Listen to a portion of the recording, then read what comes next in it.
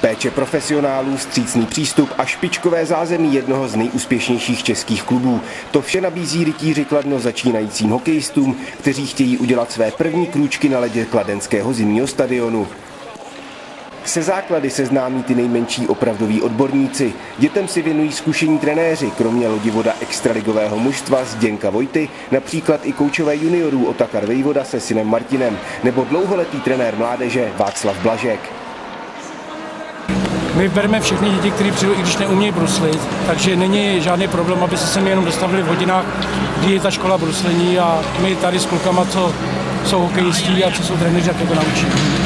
Nábor je určen pro kluky i holky narozené v ročnících 2003 až 2007. Přijít tak mohou na kladenský zimák každé pondělí od 17.15 už čtyřletí borci. První rok je školička zadarmo a nemusí se platit žádné členské příspěvky.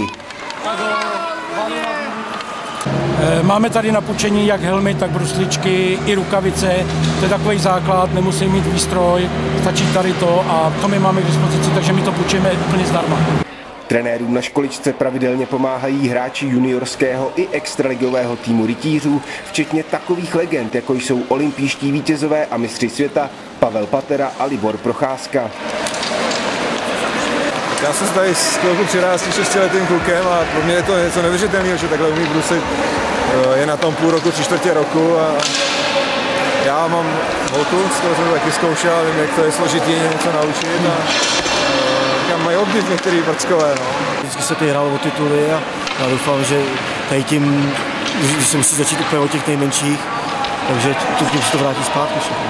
Je, je super, že tady je hodně, hodně trenérů a co si pamatuju ještě tak dva, tři roky zpátky, tak tady byl třeba trenér sám, nebo tady byli ve dvou a teď je tady třeba šest trenérů a to je výborný. Na ledové ploše to při školičce bruslení žije, je zaplněna nejen trenéry a jejich svěřenci, ale i rodiči a příbuznými. A kdo je největší vzor pro malé rytíře? Na to mají většinou všichni jedinou odpověď.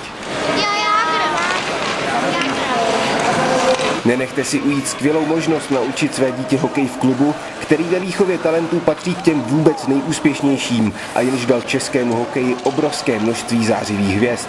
Hokejové kladno je světový pojem, buďte jeho součástí a staňte se rytířem.